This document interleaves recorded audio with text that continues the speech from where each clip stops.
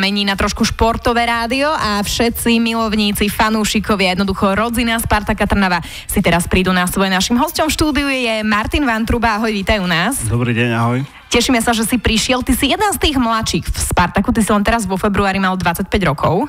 Áno, presne tak. Ale stále nie si najmladší. Znamená to, že ty si teraz ten, ktorý šikanuješ mladších, lebo vieš, aké to je, keď dostávaš na frak od starších? Uh, ne, ne, vôbec, pretože viem, aké to je, keď som bol mladší, uh, ako sa o nikom správali, aj keď uh, nezažil som to najhoršie, čo počúvam uh, od ostatných hráčov ale uh, skôr sú tam ešte mladší chalani, ktorí majú na starosti, na starosti tie veci, ktoré by mali robiť mladí hráči. Aha, čiže normálne existuje aj, že, že vo futbalovom klube chlapská hierarchia, kde tí starší iba takto majú ručičky, že nemusia nič a vy mladší si musíte za nich odmakať nejaké veci? Áno, tak to je, tak to je. Kto sa pohybuje v tom futbale, tak vie, že tá hierarchia v kabíne je a myslím si, že je veľmi dôležitá na takéto veci.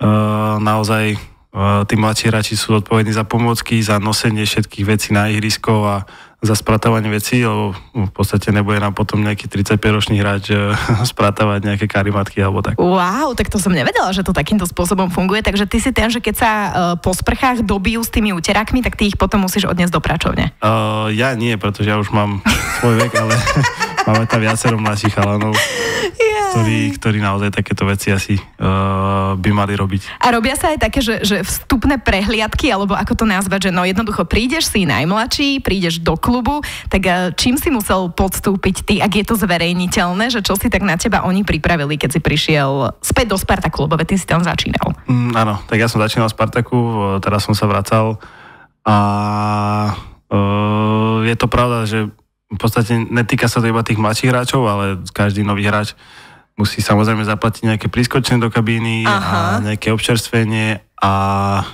vo väčšine klubov sa dokonca aj spieva alebo nejaké recituje nejaké básničky. Čo si spieval ty? Ja som nespieval, našťastie to je toto v Trnave zaužívané, takže... ja Doniesol si dostatočne chutné prískočné na to, že si mal zapchaté ústa a nemusel si spievať.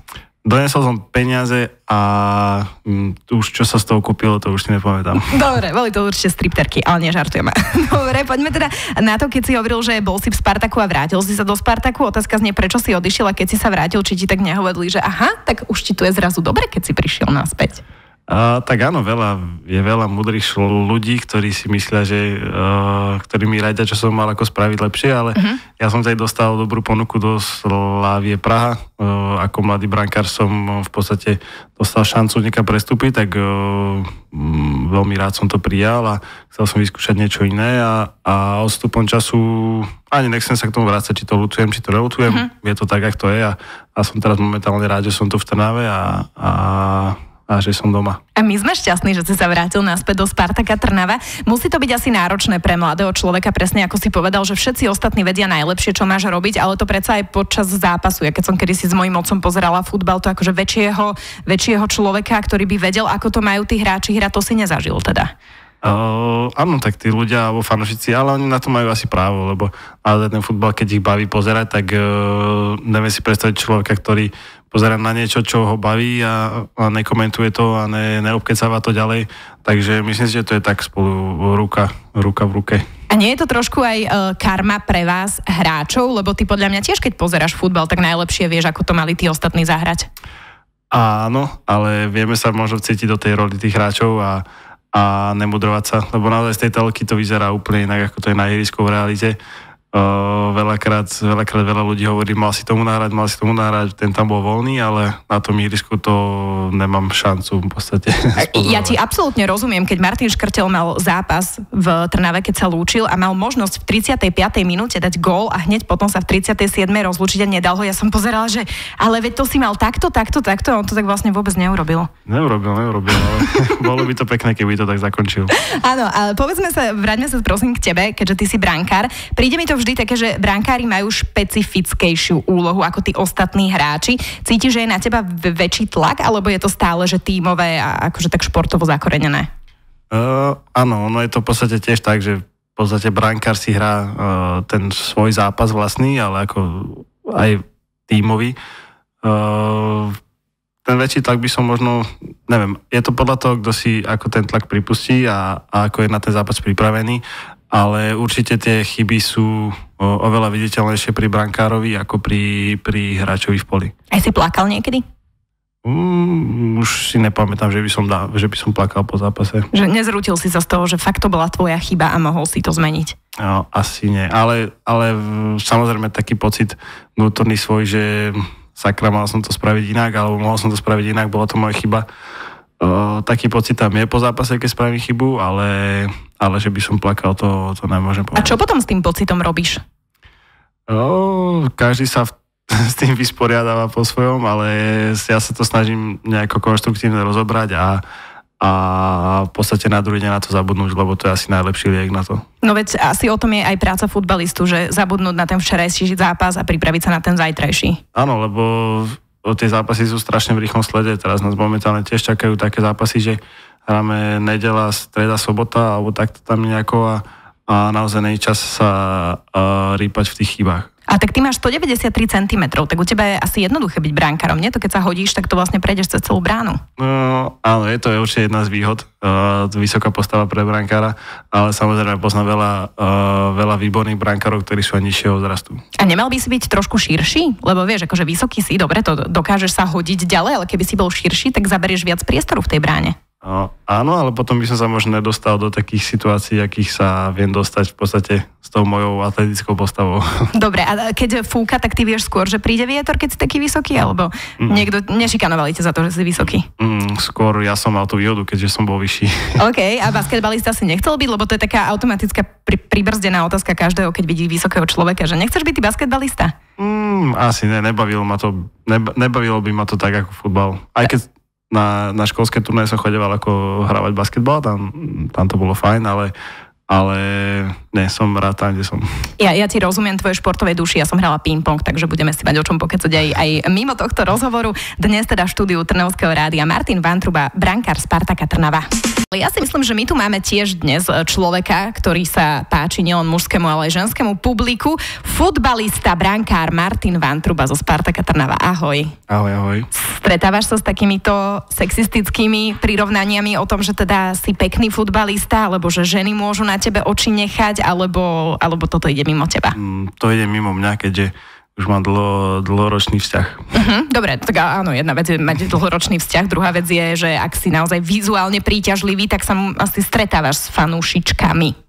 A, áno, ale uh, momentálne je to asi s takými max do 10 rokov. I, ale veď, to musí byť pekné. Áno, áno, je to zlaté, ale, ale mrzí ma to, že nemôžem každému vyhovieť s tým dresom alebo s rukavicami, takže Um, takže je to také smutné trošku. Aha, počkaj, takže to sú takí vypočítaví fanúšikovia, ktorí ti píšu nie preto, aby ťa podporili, ale aby dostali dres a rukavice? Áno, tak veľa fanúšikov začína tak, uh, začína konverzáciu s tým, že chcú vedieť, ako sa mám a chcú mi popraviť veľa šťastia a potom tam nejako nenápadne zahrnúť, že by chceli nejaký suvenír. Počuj, ale to, to, je hrozné, keď si vlastne uvedomí, že nikoho nezaujíma, ako sa máš a jediné, čo chcú, sú tvoje rukavice. A, áno, to je smutné. No. A mňa naozaj zaujíma, ako sa máš, dáš mi rukavice. Uh, nemám momentálne. Ne, aj, dobrá, výborná odpoveď, úžasné. Nemôžeme dávať, nemôžeme dávať. No tak áno, lebo to by asi Spartak potom skrachoval, keby si musel každému fanúšikovi dať svoje rukavice však. Áno, áno, tak ako tie rukavice si ja sám zabezpečujem po vlastnej osi, ale mm-hmm. s mhm. tými dresmi to je trošku ťažšie a, a, a dúfam, že to fanúšici chápu. A koho rukavica alebo dres by si chcel mať ty? Mm, nad takouto otázkou som ešte nerozmýšľal. Nemáš za čo, máš pokojne čas, spokojne porozmýšľaj. Kto je tvojim takým veľkým uh, futbalovým mágom, koho by si chcel vlastný dres alebo rukavice? Tak uh, určite ako z brankárskeho vzoru sa mi páči Manuel Neuer. On je úžasný. Ktorý, uh-huh. ktorý No, že vraj sa na seba podobáme. podľa, uh-huh. podľa fotiek určite kvalitou ešte nie. A neskúšal si mu napísať na Instagram, že ako sa má? Ne, ne, ne. Možno to skúsa, podľa tvojich fanúšikov to aj vyjde. Dobre, takže už asi vieme, že kto, kto je takým tvojim vzorom. Inak dnes je Svetový deň učiteľov. Ty máš nejakého, povedzme, že učiteľa v Spartaku Trnava, ktorý ti prvý nápadne, že o, ďakujem pekne, aké veci ma učíš a že aj vďaka tebe som, kto som? Áno, je to náš tréner, uh, tréner Kameš, pretože s ním som od, vyrastal od dorastu, téma viedol v podstate celé, te, celé tie roky, keď som tu v Trave bol. Spolu sme vlastne vyhrali titul, takže to boli tiež také nezabudnutelné časy a teraz som rád, že si ma on v podstate tak doviezol naspäť. Keď si to tak vezmeme, ty si bol uh, súčasťou Spartaka Trnava práve vtedy, keď ste vyhrali vytúžený titul. Teraz si tam späť, keď sa oslavuje storočnica. Už si vysvetlil chalanom, že vlastne tým prináša šťastie a pri všetkých veľkých udalostiach Spartaka si práve ty? vysvetlil a, a asi by som to uh, ani nejako neobkecal, pretože naozaj není to mnou, je to vlastne kolektívom. Aj vtedy v podstate tej majstrovskej sezóne to bolo také, že, že naozaj sme fungovali ako tým, ako jeden celok a, a spolu nám to vyšlo. Ale o to jednoduchšie je, že nepodľahneš vlastnému egu a neuveríš svoje dokonalosti, keďže ide o tímový šport a vlastne vždy, vždy ti tam niekto pripomenie, že nie je to iba o tebe. Áno, áno, tak je to tímový šport, ako si povedala a, a vlastne ja pomôžem iným a zase druhý pomôžu mne, takže je to vlastne o tomto celé. No a najbližšie si budete pomáhať aj túto nedelu o 17.30, pretože prichádza veľké derby.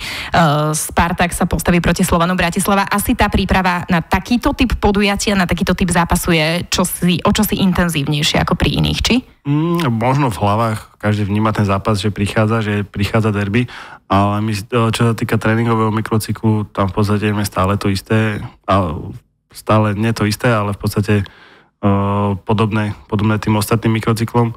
A, ale určite ten, ten tlak určite ten tlak prichádza týmto zápasom. Je to náročnejšie, ako keď hráte s niekým iným. Mm, áno. No dobré, a čo robíš v ten deň, keď vieš, že má byť derby? Ako sa na to v ten konkrétny deň pripravuje? Že máš nejaké obľúbené jedlo, dávaš si obľúbené trenky, alebo sedíš celý deň na vecku asi v strese? Ako to vyzerá u teba? Tak ja, uh, čo sa týka nejakých rituálov, ja sa to snažím úplne vynechať, pretože je to vec, ktorá podľa mňa mi bere energiu, alebo mm-hmm. no, v podstate keby to nespravím, alebo zabudnem na nejaký rituál, v podstate celý deň by som bol mimo, že som nespravil to, alebo nespravil by som to. Uh, takže nevnímam to, aký, snažím sa to vnímať ako normálny zápas, samozrejme ten tlak tam je, alebo ten stres uh, tým prichádzajúcim zápasom, uh, ale ale nesnaží sa robiť nič špeciálne v ten zápasový deň. Toto je mimoriadne povznášajúci spôsob, ako sa vyrovnávať s takýmito vecami, lebo ja som presne ten človek, ktorý potrebuje mať rituály, že ja prídem do rady a poboskám koberec ako futbalisti trávnik a až potom začnem vysielať. Mm. Ale vlastne tým pádom sa, sa odosobníš od, od veci, ktoré presne, že by si potom bol v strese, že si na ne zabudol. Takže a, a aspoň poboskáš ten trávnik, keď tam ideš? Mm, ne. Nie. No dobre. Nevení v tom dôvod, aby som boskal trávnik. Dobre, tak rob si čo chceš, ale hlavne rob uh, všetko najlepšie, ako vieš. My ti budeme držať palce. Si skvelý človek, si, si, si, si naozaj že úžasná osobnosť a ja verím, že teda v nedelu budú všetci kričať aj tvoje meno. Ďakujem pekne. Martin Vantruba dnes v štúdiu Trnavského rádia. Spartak Trnava môže byť pyšný na to, že má aj takéhoto brankára.